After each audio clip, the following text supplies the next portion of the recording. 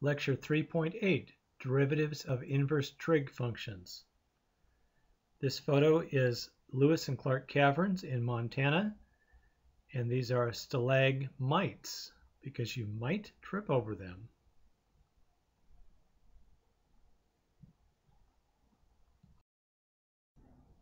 Consider the function f of x equals x squared where x is greater than or equal to 0. The derivative df dx equals 2x, and at x equals 2, f of 2 equals 2 squared, or 4,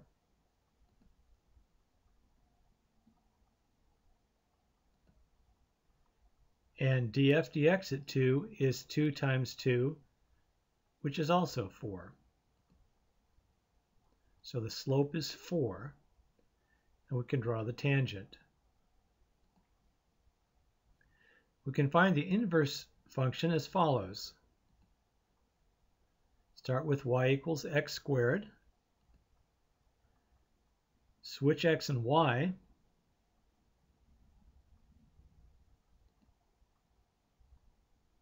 And solve for y. Notice this time I chose to switch x and y first instead of waiting till the end. You get the same answer either way. So f inverse of x equals radical x.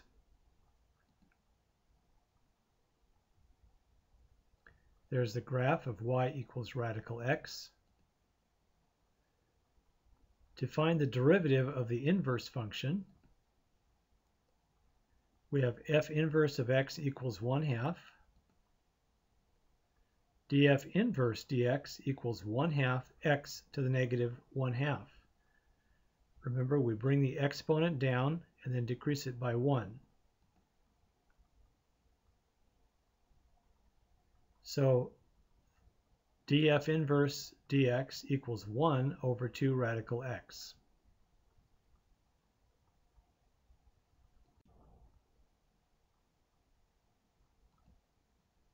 At x equals 4, f inverse of 4 equals radical 2, or 2.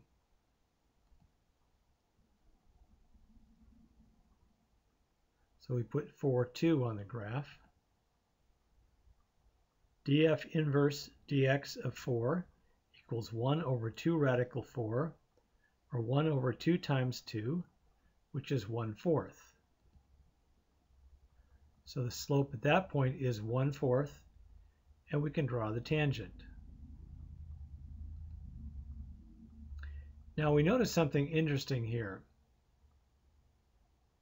At point 2, 4 in the original function, the slope is 4. Now if we switch x and y at point 4, 2 on the inverse function, the slope is 1 fourth, which is the reciprocal.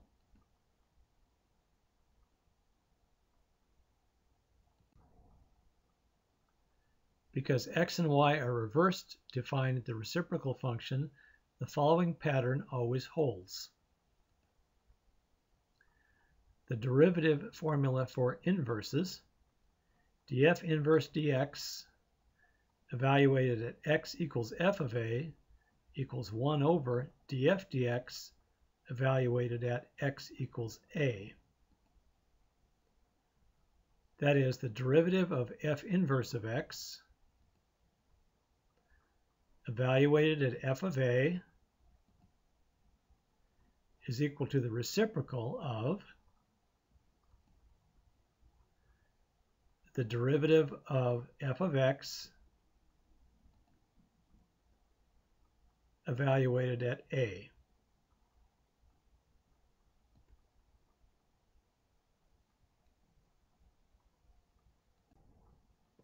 A typical problem using this formula might look like this.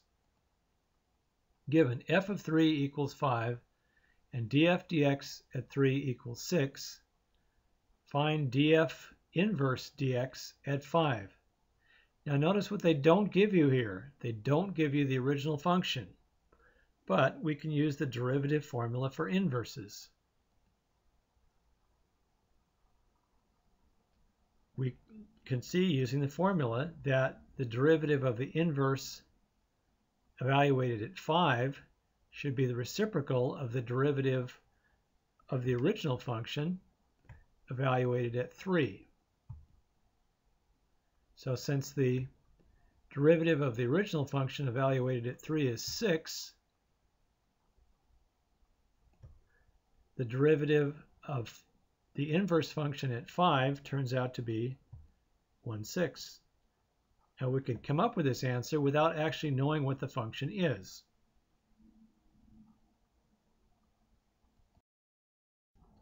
A function has an inverse only if it is one to one. We remember that the graph of a one-to-one -one function passes the horizontal line test as well as the vertical line test. For instance, y equals 1 half x cubed is one to one because it passes the horizontal line test as well as the vertical line test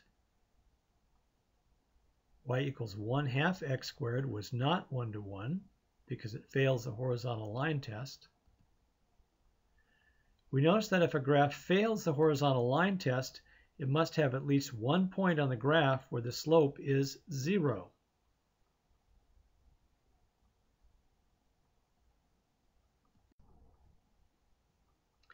Now that we know that we can use the derivative to find the slope of a function, this observation leads to the following theorem. Derivatives of inverse functions. If f is differentiable at every point of an interval i, and df dx is never zero on i, then f has an inverse, and f inverse is differentiable at every point of the interval f of i. Example, does y equal sine x plus 1.1x have an inverse? We find the derivative y prime equals cosine x plus 1.1. Since cosine x plus 1.1 is never 0, y equals sine x plus 1.1x must pass the horizontal line test, so it must have an inverse. The derivative is never zero because the minimum value of cosine x is negative 1, and negative 1 plus 1.1 is 0.1, which is still greater than 0.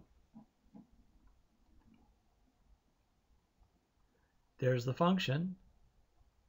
Notice that the slope is never 0, and so it does pass the horizontal line test.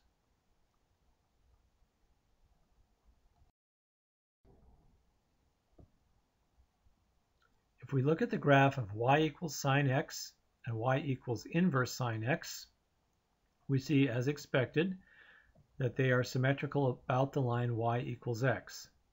Now we can use implicit differentiation to find a formula for the derivative of inverse sine x. Starting with y equals inverse sine x, we take the sine of both sides.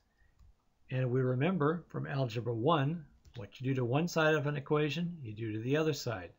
So in this case, since we took the sine of the left side,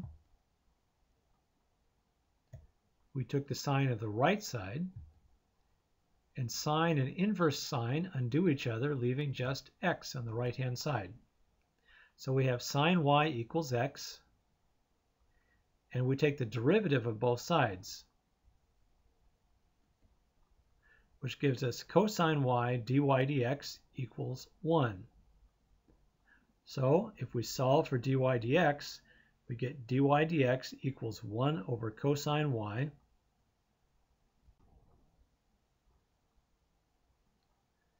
But we remember sine squared y plus cosine squared y equals 1. So cosine squared y equals 1 minus sine squared y. or cosine y equals plus or minus radical 1 minus sine squared y. But y is between negative pi over 2 and positive pi over 2. We know that because that's how inverse sine is defined. So cosine y is positive. Therefore, cosine y equals radical 1 minus sine squared y. So we can substitute that in. Now you might wonder why we wanted to substitute in a more complicated expression for a simpler one. The reason is there was no way for us to evaluate cosine y. But we know what sine y is. Sine y is x. So dy dx equals 1 over radical 1 minus x squared.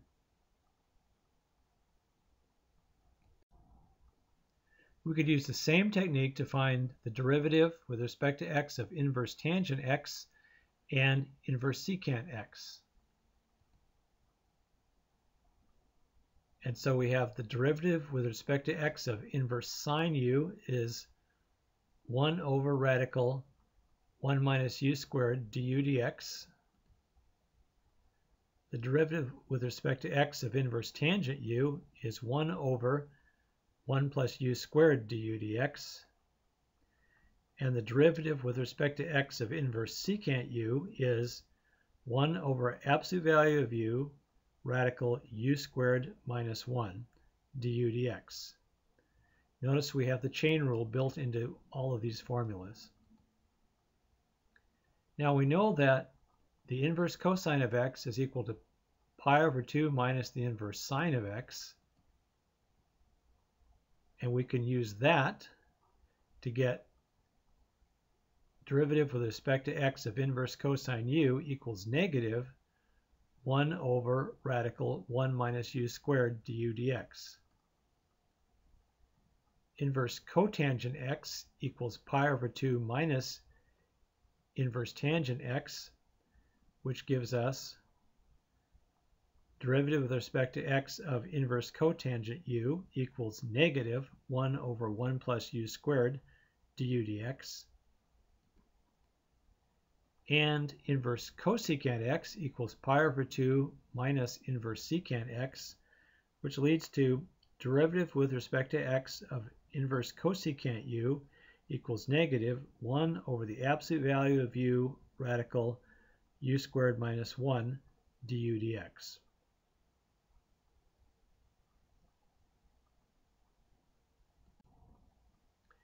Your calculator contains all six inverse trig functions. However, it is occasionally still useful to know the following. Inverse secant x equals inverse cosine 1 over x. Inverse cotangent x equals pi over 2 minus inverse tangent x. And inverse cosecant x equals inverse sine 1 over x.